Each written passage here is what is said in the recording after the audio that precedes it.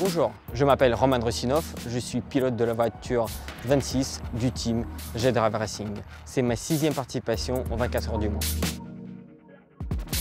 On est dans le premier virage Porsche, c'est le virage le plus important du circuit pour moi. Pourquoi? Parce que c'est vraiment la partie qui va définir ton chrono à la fin.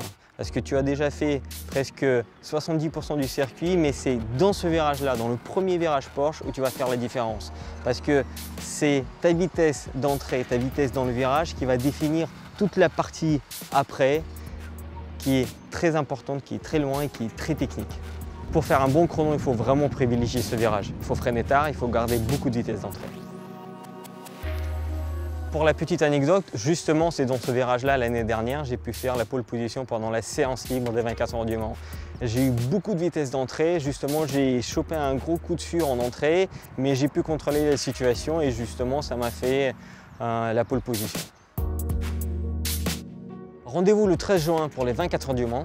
Suivez-nous sur les réseaux sociaux hashtag LM24.